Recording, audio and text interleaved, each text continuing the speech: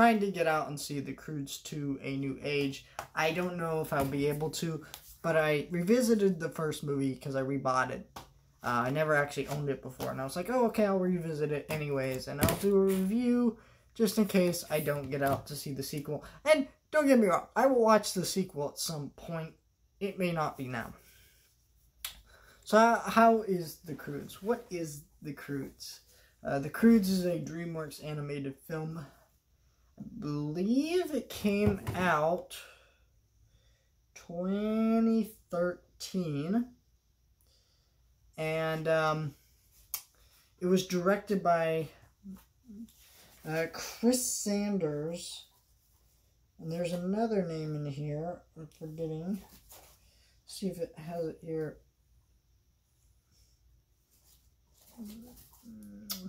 Doesn't have their names, but basically these two directors worked together and they directed the How to Train Your Dragon series.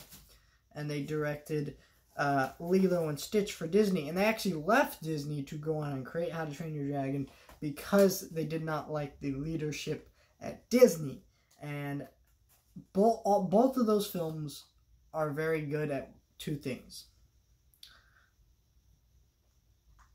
Or they're both good at one thing.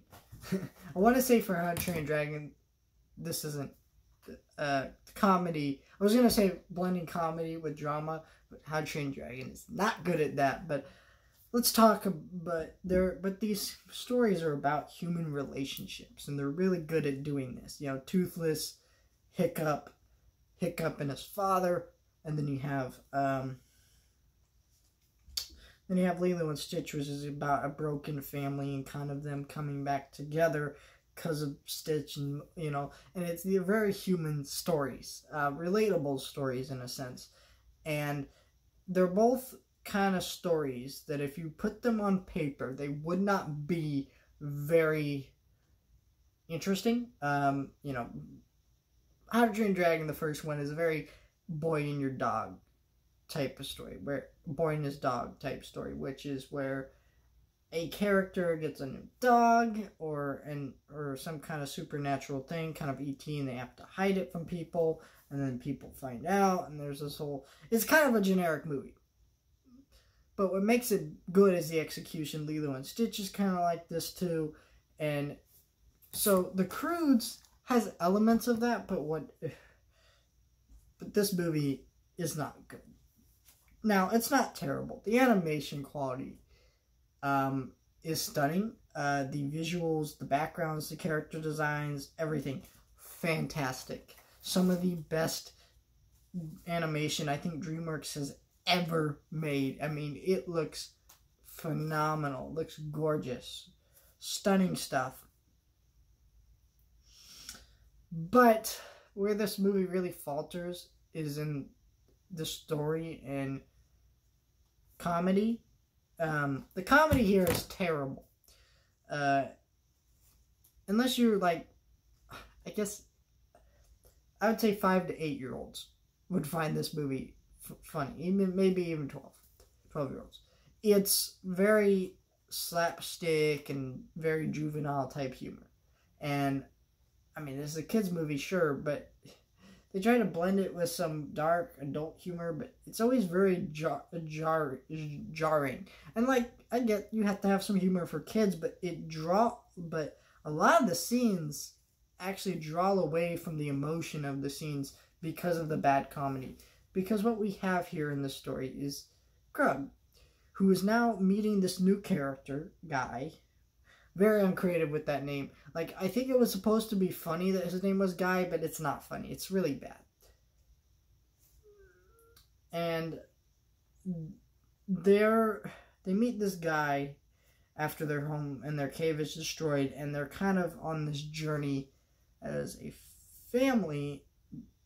His daughter Eep is falling for this guy, and his whole family is kind of impressed by his new inventions and, and how he's able to help them survive because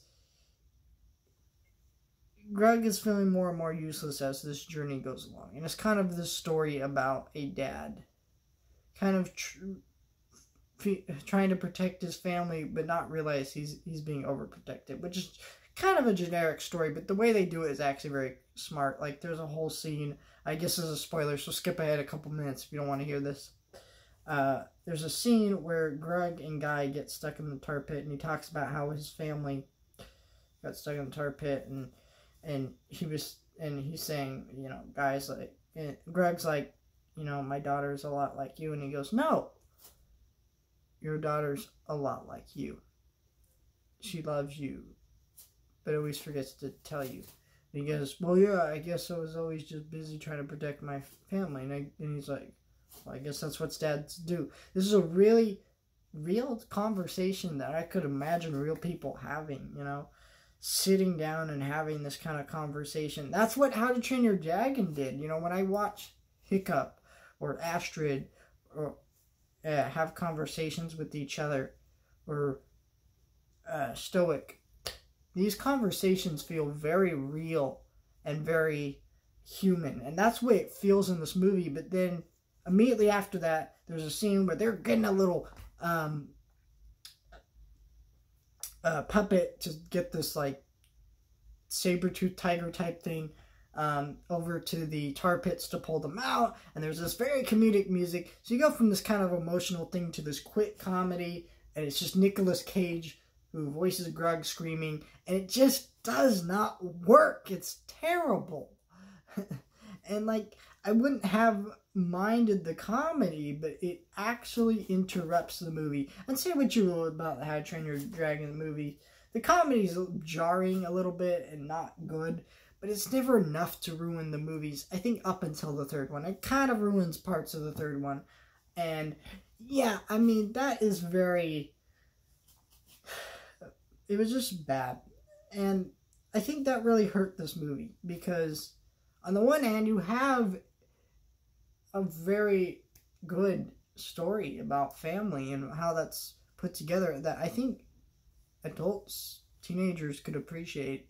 Um, you know, I think a lot of adults can relate to Grug, you know, being uh, the type of parent who you're looking at it and you're going, hmm, I, I don't know about this young new generation coming in. And, and, but it's just like, it's just played up in the wrong ways and i think that's what's really annoying about it is the juvenile humor interrupts the tone. It's not very funny. And you have a great score to this movie that really when i hear it i kind of feel a little bit emotional in some of the sad parts and i'm like cool i'm starting to feel emotion. Then goofy comedy comes in and breaks that emotion and ruins it.